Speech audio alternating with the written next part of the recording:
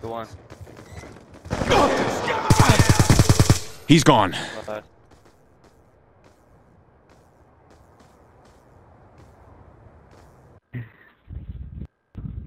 Did you make him ready? yep, you did.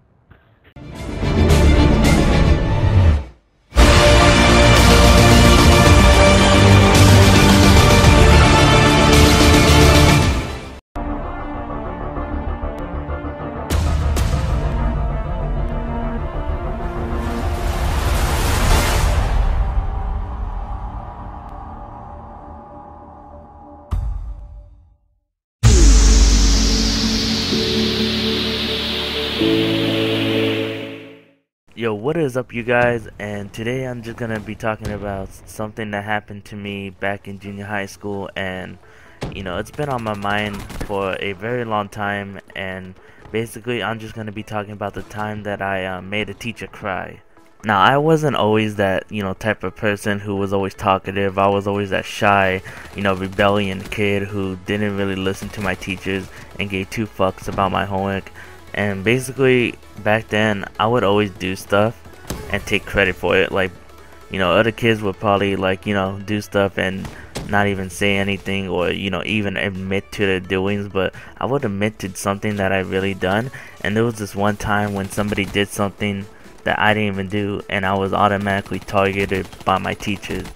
And, and he didn't really care much about, you know, me doing some stuff in the classroom, but basically somebody put a phone, which is a school phone, in my backpack. And when they put it in my backpack, the teacher had to make a call from his cell phone, and it pretty much came from it. Now, I didn't even know it was in my backpack at the time. Somebody put it in there when I went up to go to the bathroom, because you always leave your backpacks every time you go to the restroom in school and you know you never know what could happen you know if you bring something that's expensive like when it comes to electronics pencils so what? Anything that's in your backpack it's pretty much out in the open. And when my teacher blamed me and put me in two weeks in detention I think it was detention I believe. Hopefully I'm saying I'm saying it right. If I'm not I apologize. You know I'm not really spoke spoken out right now it's like 3 in the morning I'm making this video it's kind of crazy but you know you gotta make you gotta do what you gotta do. So basically um I got so mad that when they had a fire drill and this was like towards the end of the day of school and there was a fire drill. We basically had to go out and set it around the blacktop which is pretty much the basketball court and I was ahead of my class when we had to head back to our classroom. So what I did was I was chewing gum and for some reason I had this idea in my head which I should have done but you know now you know thinking about it now like I'm not really like liking the idea but at the time I thought it was you know something I should have done which you know obviously I don't condone anything that I have done in your guys' further futures in school.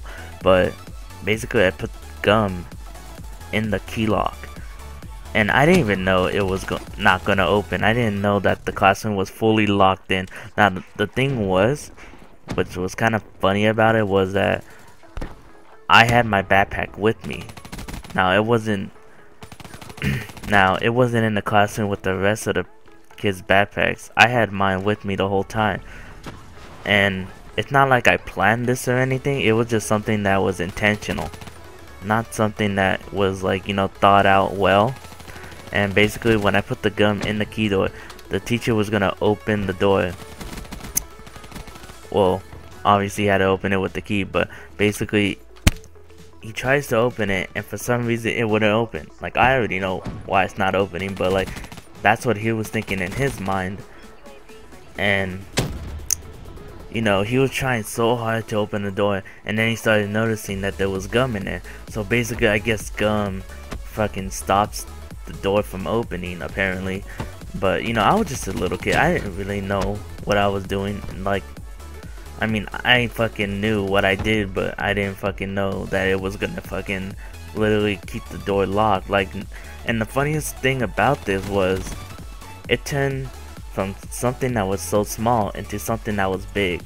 and basically like a lot of kids had their backpacks in the classroom so they had to wait after school probably about an hour before they could replace the lock which at the same time I thought it was kind of funny but at the same time I kind of felt bad but I never said anything. And the way I looked at my teacher he was like in tears. Like I couldn't believe it with my own eyes. I was I wanted to laugh but at the same time I seen him crying so I couldn't because obviously like when you laugh about something about when somebody else is crying about another it pretty much automatically makes you the fucking reason why people had to wait. Now nobody knew that I done this. Like it was only me. Like I was the only one who knew that put the gum in the door. And when he was crying after like a couple of I think about five minutes I didn't really care afterwards because I had my backpack I didn't have to wait I could have just left and that's it. But I stood there the whole time acting like I didn't do anything and I still haven't got caught to this day. Now, could I have got into a lot of trouble? Possibly. I mean, you know what? Actually, that's not even not even a question. That's like a rhetorical question, you know? Of course I was going to get in trouble. But good thing I didn't say anything. And good thing that no fingers were pointed towards me this time because nobody knew that I did it. And I guess that's like a lot of people done in junior high was like they like to finger people. And not in the sick, twisted minded way. I mean, they just like to point fingers at you and just say, you did it. No, you did it. Even though they don't even know who did it. But yeah, basically my teacher was crying and, you know, he didn't know what to do. Neither did any of the other kids who had their backpacks stuck in the bedroom. I mean, not the bedroom, the classroom.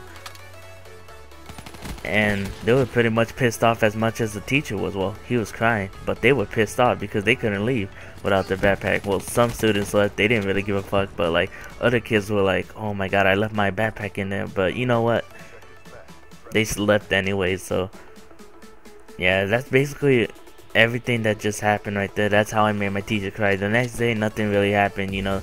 I mean, he just mentioned it like when the class begun, but you know, nothing else was said after that. So hopefully you guys did enjoy the video. If you did, like, comment, and subscribe. Let's try to get up to 10 likes, and I'll see you guys later. You don't know what it is. Peace out.